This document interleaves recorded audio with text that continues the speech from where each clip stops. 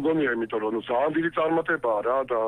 წელს იყო წარდგენილი რეკორდული რაოდენობა ფილმების რა, ყველაფერამ წარადგინა თავის საუკეთესო ფილმი და 83 ფილმი იყო წარდგენილი და დასახელდა ხუთი წარმოიდგინე ოქროს გლობუსი და მანდარინები იქა და მე აი ულოცავ ქართულ კინოს და ესტონურ კინოსაც ეს კოპროდუქცია ესტონურ ქართული და ესტონეთის სახელით არის გასული, იმიტომ რომ სათანადო თანხა კონჩადებული და დაუჯერებელია ჩემთვის მართალი გითხრა.